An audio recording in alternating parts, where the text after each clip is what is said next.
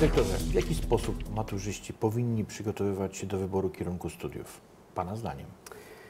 No powinni to robić jak najwcześniej. Yy, niestety ten system edukacyjny, w którym teraz funkcjonujemy, tak jest pomyślany, że właściwie w momencie wyboru szkoły ponadgimnazjalnej, yy, czyli powiedzmy liceum ogólnokształcącego, młody człowiek już powinien wiedzieć, yy, dokąd zmierza, na jakie studia chce iść, czy przynajmniej kierunkowo orientować się, co go interesuje. Bo liceum ogólnokształcące jest tak niestety pomyślane, że następuje bardzo głęboka specjalizacja.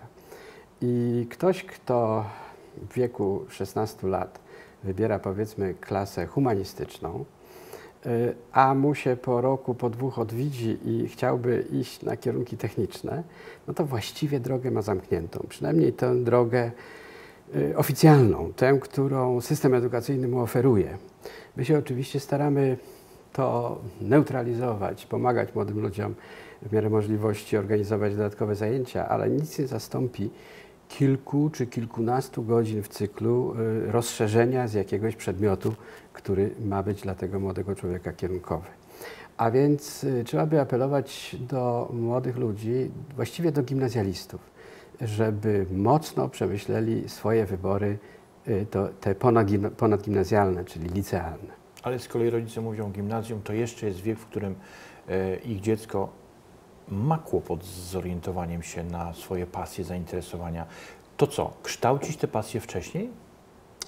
No, próbować je odkrywać i próbować yy, sprawdzić, yy, jakie są zainteresowania i jakie predyspozycje, bo to są yy, oby, jeśli idą w parze te dwie właściwości, to świetnie, choć nie zawsze tak jest, ale próbować to odkrywać jak najwcześniej i pomagać temu młodemu człowiekowi y, właśnie w dokonaniu wyboru na tym etapie, bo e, tak jak powiedziałem przed chwilą, jeśli ten moment się przegapi, to może być już trudno. No a co lepsze, y, wybór y, zawodu zgodnie z pasją i zainteresowaniami, czy z pragmatyką i potrzebą rynku? No i znowu powiem tak, że należałoby to połączyć. najlepiej połączyć, pogodzić.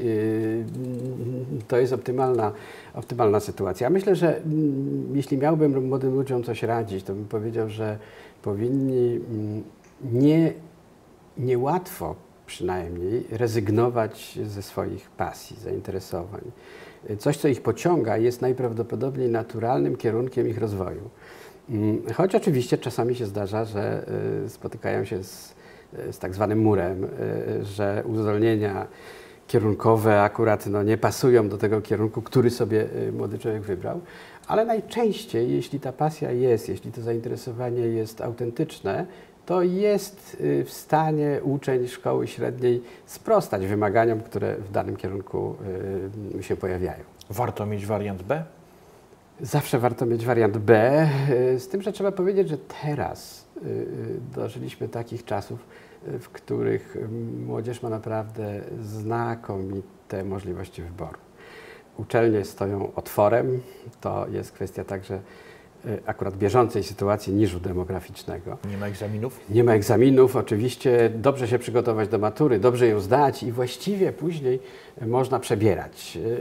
E, no, nie dotyczy to kilku kierunków, takich jak medycyna na przykład, gdzie niegdzie jeszcze prawo, e, albo takich super specjalistycznych, technicznych na niektórych politechnikach tylko realizowanych, ale w większości przypadków e, ten plan B można sobie przewidzieć i można gdzieś się ulokować na wypadek e, niepowodzenia e, w tym pierwszym wyborze.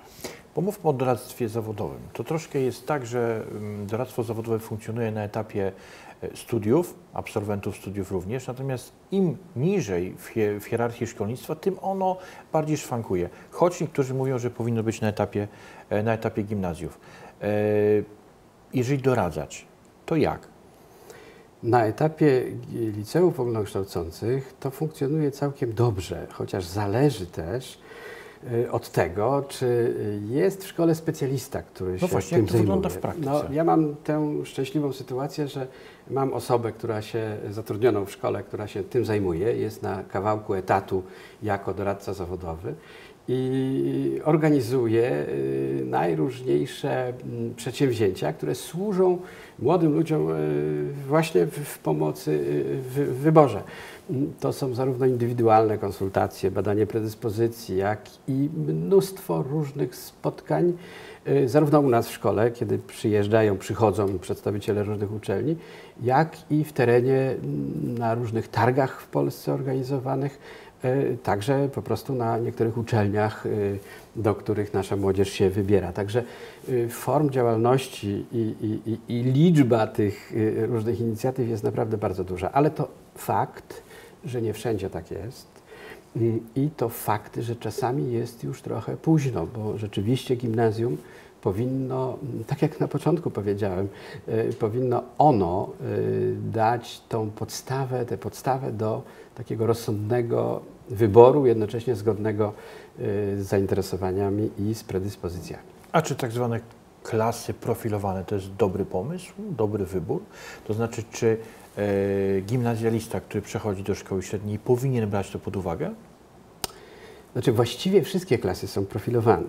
Mm, y, System edukacyjny jest pomyślany w ten sposób, że po pierwszej klasie, która teoretycznie jest y, ogólna, następne klasy już są mocno profilowane i wtedy y, ta porcja wiedzy specjalistycznej jest bardzo duża. I nie ma od tego odwrotu w tym systemie, w którym funkcjonujemy, bo po prostu dyrektor szkoły ma obowiązek y, wskazać od czterech do sześciu przedmiotów, które będą realizowane, przepraszam, od dwóch do czterech przedmiotów, które będą realizowane w zakresie rozszerzonym. To nie jest dobre rozwiązanie, ponieważ y, jest pewna grupa uczniów, którzy woleliby y, tę decyzję przesunąć na później, y, na drugą, trzecią klasę nawet. No i jest jeszcze jedna sprawa taka bardzo ogólna, ale znamienna. Otóż mm, nasza szkoła, nasz typ szkoły nazywa się Liceum Ogólnokształcące. Tymczasem on właściwie ta szkoła od, od drugiej klasy już nie jest ogólnokształcąca, bo jeśli uczeń nie ma, jeśli jest w klasie matematyczno-fizycznej, to nie ma y, WOS-u, nie ma historii, nie ma tych wszystkich przedmiotów, które y, występują w klasie humanistycznej. I odwrotnie, jeśli jest w klasie humanistycznej, to nie ma fizyki, nie ma chemii, nie ma biologii, czyli tego wszystkiego, co daje człowiekowi ogólną wiedzę, ogólne wyobrażenie o świecie. I co w rezultacie pozwala y, świadomie, rozsądnie wybrać, bo, bo przyszłość młodego człowieka powinna być efektem y, takiego świadomego, mądrego wyboru. Panie dyrektorze, a w proporcjach absolwenci pierwszego liceum ogólnokształcącego w Koszalnie wybierają części, kierunki ekonomiczne, artystyczne, e, humanistyczne, techniczne. Jak to wynika z Waszych statystyk? Tu nastąpiło w ostatnich latach duże przesunięcie, ale to jest chyba takie przesunięcie ogólnopolskie. W którym kierunku? Taka jest tendencja w kierunku nauk ścisłych, w kierunku nauk przyrodniczych, a więc to są... Przyrodniczych? Tak. To są y, klasy mm, o mm, profilu matematycznym, najogólniej mówiąc. Matematyczno-informatyczna, matematyczno-fizyczna, matematyczno-ekonomiczna, tak, bo aż trzy takie klasy i, i liczba tych klas wynika z zainteresowania y, młodzieży. To są zawsze też dwie, y, co najmniej dwie, moglibyśmy ich więcej tworzyć, ale oczywiście to też nie ma sensu, y, klasy biologiczno-chemiczne, czyli osoby, które wiążą swoją przyszłość y, z medycyną, z naukami okołomedycznymi, biotechnologią, tak bardzo modną w tej chwili. Mm, No i kurczy się od lat liczba chętnych na kierunki humanistyczne. Ja trochę wbrew sobie, ale powiem, że to może i dobrze. Y, Te nauki ścisłe, przyrodnicze potrafią mm, mm, mm, pomo- pomóc młodemu człowiekowi w znalezieniu takiego bardziej konkretnego zawodu, y, niż to było jeszcze kilkanaście lat temu. Pamiętamy w latach 90. taki boom na nauki humanistyczne. Pamiętamy tysiące osób, które w skali y, nawet naszych, naszej okolicy y, szły y, na różne kierunki humanistyczne, takie nie, bliżej nieokreślone, e, z których pedagogika jest, jest i tak bardzo określona. A więc to, jest, się okazało dla sporej grupy absolwentów trochę ślepą uliczką. Dlatego też w skali kraju nastąpił odwrót od kierunków humanistycznych. Humanistą powinien być każdy. Ale niekoniecznie musi y, być zawodowo humanistą. Tak, tak mi się wydaje i, i, i ja wspieram tych ludzi, którzy y, szukają dla siebie miejsca y, w bardziej mm, konkretnych, ścisłych y, y, przedmiotach. To świetna puenta. Bardzo dziękuję za spotkanie. Dziękuję bardzo.